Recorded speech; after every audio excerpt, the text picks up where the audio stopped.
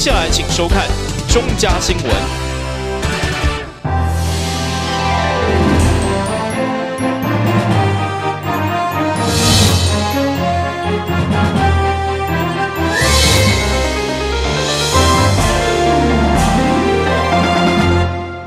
观众朋友，大家好，欢迎收看中嘉新闻，我是蔡小军。新闻一开始呢，要先带你来看为了要感恩母爱的慈晖，基隆市一百一十年母亲节表扬大会在市府大礼堂温馨登场。市长林佑昌亲自表扬九位模范母亲与七位自强母亲，呼吁大家要满怀感恩之心，向天下的妈妈们来献上崇高的敬意与祝福。母亲节快乐！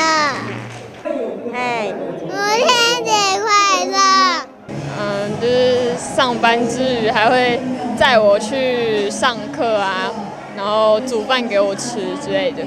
对，然后然后也是多呃多打了蛮多份工。他平常也是还还蛮乖的啦，但是说这以后也很调皮。心愿就是希望儿子以后长大就乖乖听话，这样就是很好了。哎，对。几个小孩？三个。还有两个在那边。希望小孩，希望小孩健康长大，对，然后他爸爸赶快好起来，对。基隆市长林佑昌跟夫人吴秋英共同来参与这个温馨的活动，表扬各区以及新住民、原住民模范母亲，还有家福中心所推荐的自强母亲等等，上台致贺并且欢喜合影。现场是贵宾云集，包括副议长林佩祥、社会处长吴挺峰以及多位议员、社会贤达，共同来祝贺母亲节快乐，场面相当的温馨感人。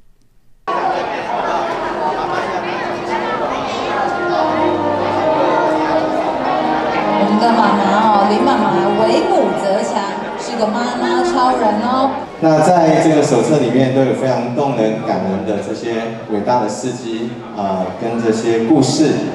那都是我们值得学习的一个榜样。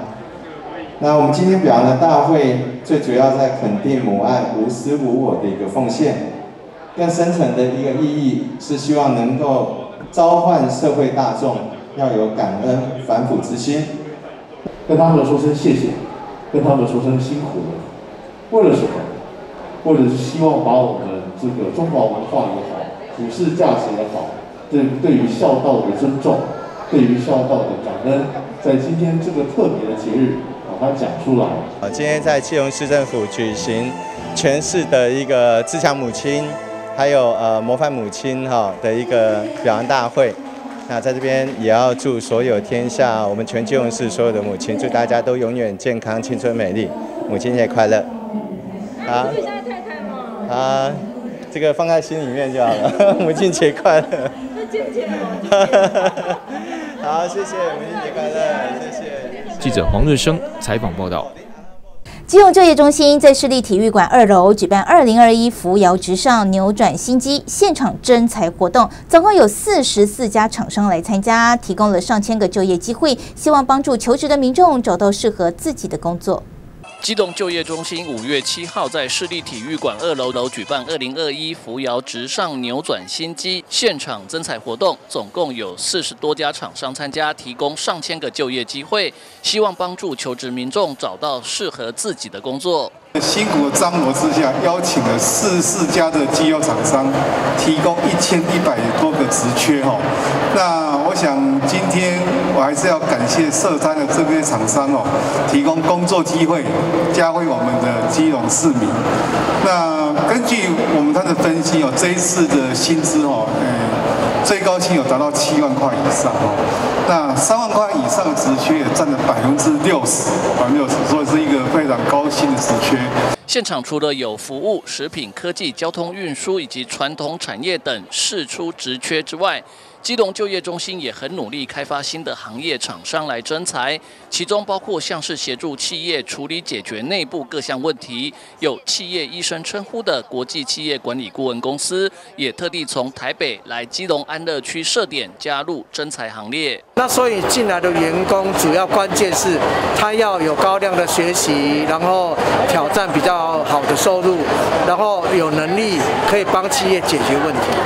这是我们最大的期望。所以各种角色都有。另外，基隆就业中心也在现场设置三个职训区，跟北分署的这个创客基地，还有所谓的基隆训练场、宜兰训练场，在这边设两个馆，一个是 AI 智慧。所谓的 AI 智慧创客馆，还有一个是啊生活美学资讯馆，包括 AI 智慧创客馆展现机器人设计和网络科技创意开发学习等课程，基隆职业训练场展出金属工艺体验区和职训课程，以及宜兰职业训练场的生活美学职训课程，教导找工作的民众学习园艺设计和布置等技能。由于近来疫情有升温的迹象，因此。进来征才活动的民众都必须先在场外量体温、扫 QR code、采实名之后才能进场，做到防疫和征才求职并重，让大家安心找工作。记者吴俊松机动报道。接下来要带你来看，基隆八斗子级的渔船“渔父八八八号”捕蟹船，五月六号上午在大陆福建沿海疑似发生了大火，船上两名台籍船员及九名印尼籍渔工紧急跳海逃生，但只有九名渔工被货轮救起，余姓船长及弟弟仍然无踪迹，家属心急如焚，希望海巡署加派船只全力搜救。我那那那海浪较大，我就讲。儿子啊，海浪很大，你咯，就那出港就爱注意安全，啊，你遐拜老三拢爱讲顾好安尼。我话你讲，伊讲妈妈我会注意啦。余姓船长和弟弟两个兄弟落海失去踪迹，家属心急如焚。于妈妈不断的念经，期盼有好消息传来。八斗子渔船渔父八八八号捕蟹船五号出海捕鱼。但却传出六号上午在东引东北方外海八十六海里处失火，当时船上余姓船长和弟弟和九名印尼籍的渔工跳海逃生，其中九名外籍船员被两艘货轮顺利救起，而余姓兄弟则是下落不明。今天凌晨做完口供，是说他们两兄弟是一个有抱穿救生圈，因为一个有穿救生圈，一个有绑那个抱住那个大的保利了。嗯。啊，结果现在海巡海巡的船昨天有派五条出去了，啊，有一条就是送这九个印尼籍的外劳回来。渔夫八八八号船龄大约五年，是 CT 四的渔船，专门捕捞螃蟹。一个月前才花两百多万元整修翻新，但现在传出渔船失火，让家属很纳闷。那算中补的啦，不过说真的，他，呃，前两个月才又翻修电线什么的，又花两三百万了。哦，才翻修过的。嗯，他平常都是去哪里捕？大部分都是在彭家里附近。两位余姓渔工亲兄弟的家属非常担忧两名呃未被搜救、未被呃解救的这两名渔工的安危。现在我们要呼吁政府，除了台湾的海巡队尽力来抢救之外，因为近平潭的沿岸也能通报给所有附近海上船只，甚至通报给大陆的呃相关的海巡单位，能够来帮忙解救这两位呃大呃台湾籍的渔工。获救的九名印尼籍船员，经过海巡队接驳，平安抵达基隆海巡队，而包括马祖海巡队及基隆海巡队，出动了一舰四艇，在出事海域持续的搜救。经查，该船为八斗子级，前天下午两点钟由附近渔港出港，船上有十一名的船员。昨天下午因不明原因失火，由附近的巴拿马籍和马绍尔籍的货轮救起了九名的印尼籍船员。并向国收中心通报，被救起的九名船员由本队的一百三三艇接驳返台安置。目前现场有北基队的连江舰、本队马祖队和淡水海巡队的一百吨级巡航艇全力搜救中。家属说，余姓兄弟从十六岁就开始捕鱼，讨海超过三十年，经验丰富。而其中弟弟是单亲爸爸，留下了三名未成年子女。家属心急如焚，希望政府帮忙让兄弟俩平安回家。记者黄少明基隆报道。再带你来看很惊险的意外，有一辆货柜车周六经过麦金路弯道，疑似车速太快，再加上货柜的插销没有装好，失速撞上了护栏，整个货柜是翻落到西床。当时人行道上有两位民众差一点就被撞到了，还好两人拔腿狂奔，没有受伤。货柜车来到转弯处，突然车轮离开地面，整辆车右斜，车头撞上护栏，而载运的货柜整个翻身，直接掉落在溪中。仔细看，当时有两位民众吓得赶紧逃跑。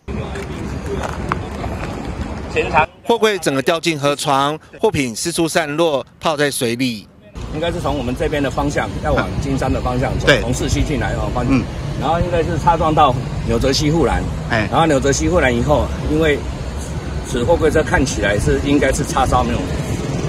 周六下午三点多，一辆货柜车行经基隆麦金路一处弯道，疑似车速过快，加上转弯离心力大，失控撞上路边的护栏，导致四尺的货柜当场甩飞，滚落莺歌溪。造成人行道护栏一百五十公尺毁损，还险些造成两名路人受伤。因为驾驶货柜车，然后因为可能装载货柜装载未确实固定，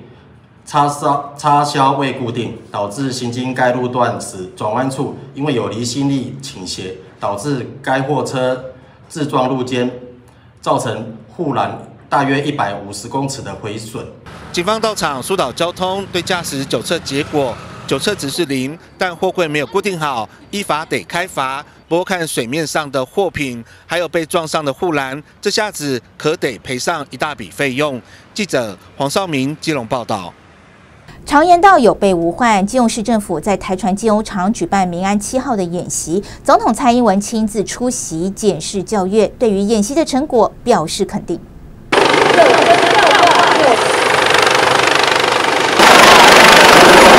基隆预警发生大地震，民众受困屋顶，空中勤务总队直升机救难人员以垂钓方式顺利将受困民众救出。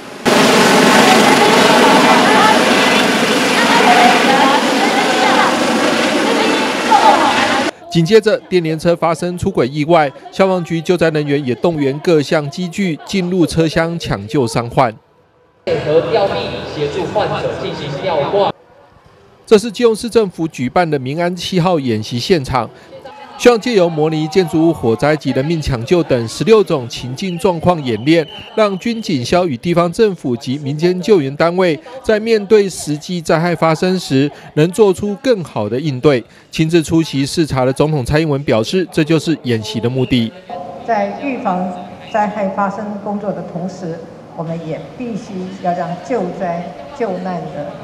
能量不断的提升和精进，才能在灾害发生的时候，能够降低伤亡和损失。这也是我们今天在这里的原因。只有通过反复的演习，强化政府各单位跟民间的连结，才能加快动员救灾的速度，增加我们灾害应变的韧性。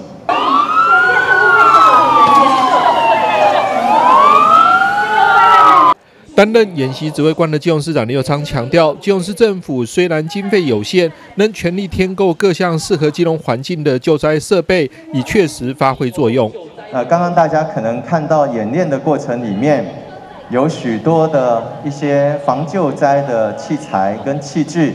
跟其他的县市啊，可能有一些不一样的地方。我想这是我们在基隆呃落实。在防救灾的工作当中，我们要求一定要实用、要有用、要好用，所以因地制宜啊，我们佩服了许多我们啊所有的灾防的这些弟兄人员们，在实物救灾经验上面的一个回馈。那在我们的装备的采购上面也进行了修正。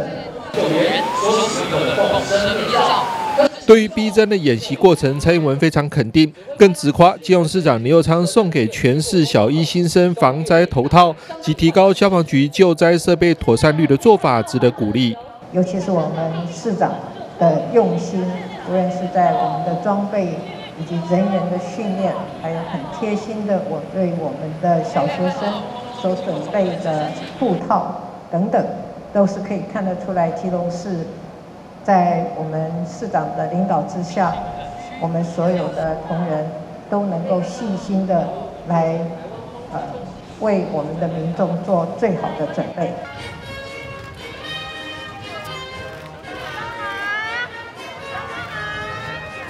在林佑昌等人陪同下，蔡英文也亲自向参与演习的各单位人员表达感谢，更希望借公开演习提升民众防灾意识，有效保障国人的生命财产安全。记者张启腾、金融报道。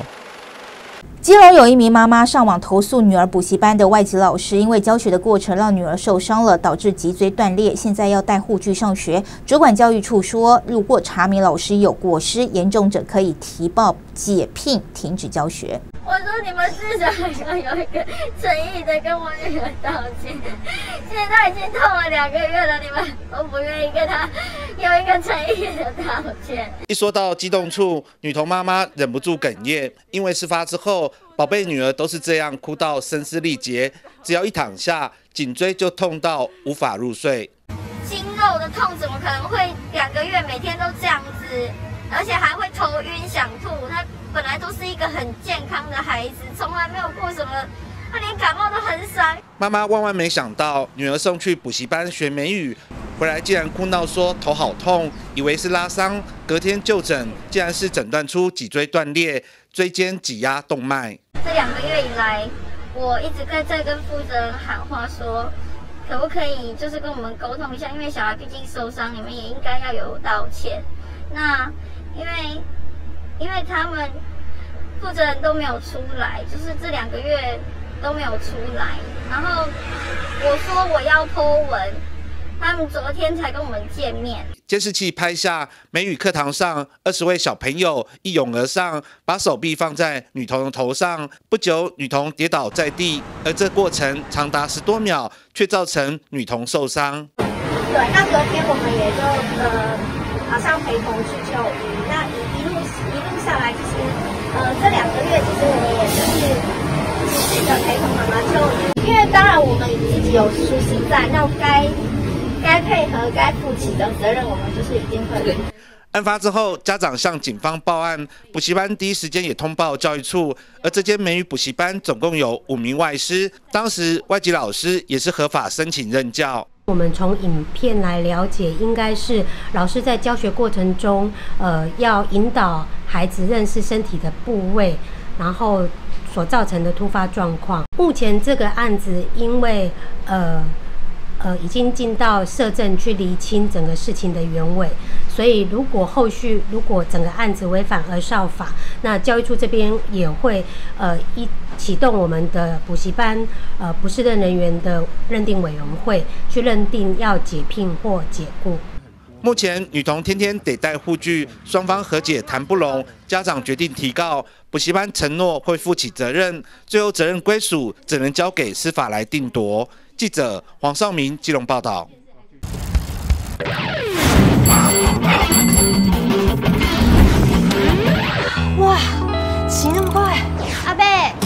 么骑这么快？我老婆要我在五月三十一号之前到便利商店缴房屋税。以后不用这样赶，现在下载有缴税服务的行动支付 App，扫描缴款书上的 QR code，确认缴税资料，就可以完成缴纳喽。还有多元缴纳管道，这么方便哦！多元管道轻松缴，智慧便利一路奔。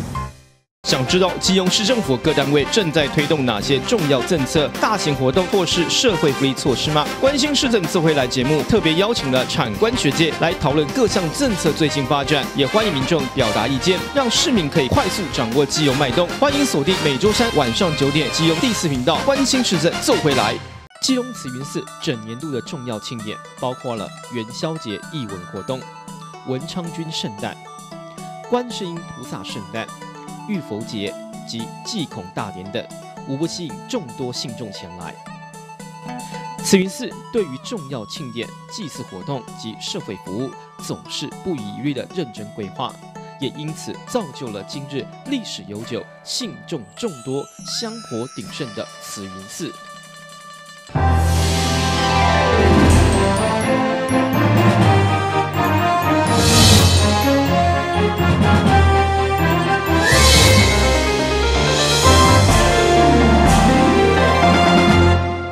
欢迎回到中嘉新闻现场，要带你来看，因为市立综合体育场施工整修的关系，全市高中职教官有二十八个人，年度体能测验特地改到七堵区的六堵地区当地信仰中心慈凤宫来举行。从革命军人退下，成为政坛常青树的市议员张耿辉，他就以军人学长的身份，特地到现场为大家加油打气。又是仰卧起坐，又是伏地挺身，外加三千公尺跑步。以往都是在市立综合体育场举行体测，因为施工的关系，全市高中职教官大约二十八人，年度体能测验特地异地办理，选在七堵区、六堵地区当地信仰中心的慈凤宫庙庭以及基隆河畔步道举行，受到慈凤宫热情欢迎，连一只颇具灵性的猫咪也在一旁监督教官们做体能测验，相当有趣。国军在年度都有体能的检测，然后呢，一年一次的体能检测包含了三千公尺伏地挺身，还有仰卧起坐。那因为今年开始基隆市的体育场在做整修，然后我们也希望呢找一个很好的风风景很好、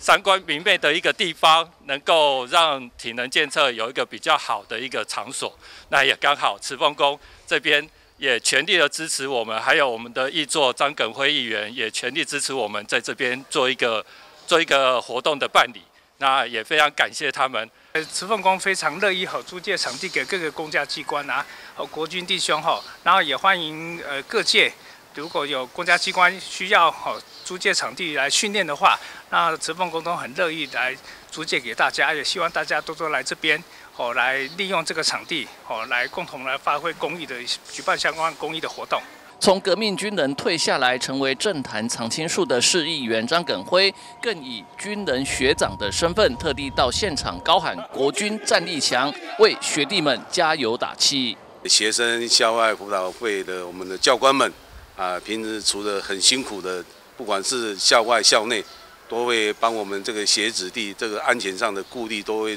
照顾的无微不至，我非常也感谢啊，代表民意来感谢他们，同时啊，也祝福他们今天体能测验能够圆满顺利成功。在此在此的呼吁，我们要全民国王，全民备战，备而不战，国军战力强。沿着基隆河畔跑步，受测的教官们都很满意这里的环境，每个人都抱着保护学生、捍卫国家的精神，全力拼满百。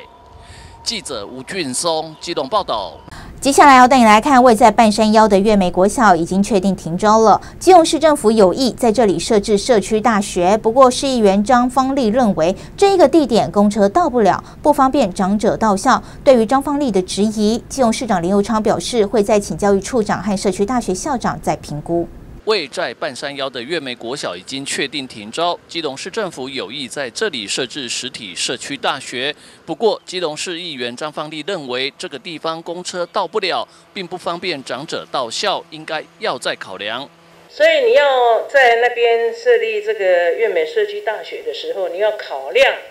这些年长的一些学生，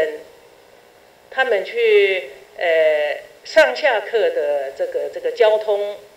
因为大部分那些人都不会骑摩托车，啊，势必一定要坐公车，啊，嘿，公车刚一当起哦，这个这一点我们真的要非常非常审慎的评估，无要设立了，学生拢无爱去的时。哦，就如同一个虚设。对于张方丽的质疑，基隆市长林佑昌表示，会再请教育处和社区大学校长再审慎评估。社大的新任的蔡校长，因为呃日前呃处长也有跟我回报，呃有几个地方是让社大去进行评估。好，那最后初步的一个成果是说，他们觉得月梅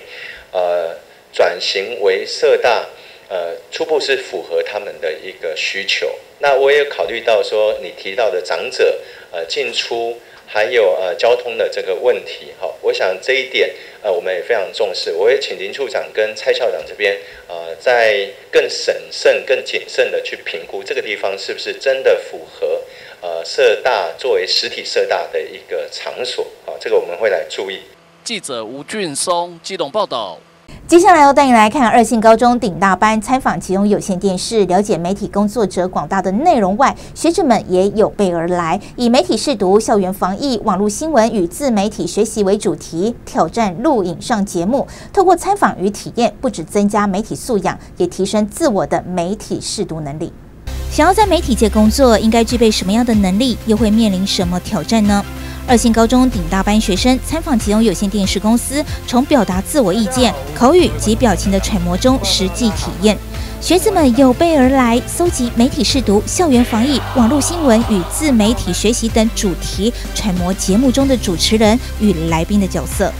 所谓新媒体呢，它其实就包括了它的范围是非常广泛的。什么叫范围非常广泛呢？就像是我们现在在网络上面可以看到的 YouTube。或者是抖音，还有直播平台，这些呢都可以让我们更多元的接收到我们所需要的讯息。不止体验节目呈现出的画面，还学习幕后工作者的内容，了解节目制播每一个环节都很重要。吉隆有线电视公司总经理林希亮欢迎学子参访，期待传递正确的知识与能量，善尽社会责任。透过体验参访，让学子了解媒体直播的过程，也从中了解新兴媒体的崛起所引发的影响，最终拥有媒体视读的能力，提升媒体素养。记者崔小军采访报道。以上就是今天的中嘉新闻，也欢迎您到中嘉新闻的脸书及 YouTube 按赞，就能及时获得最新的在地新闻。另外，我们也与 FM 轻松电台九六点九联合直播，欢迎准时收听。非常感谢您的收看，我是蔡小军，祝您一切平安，我们再会。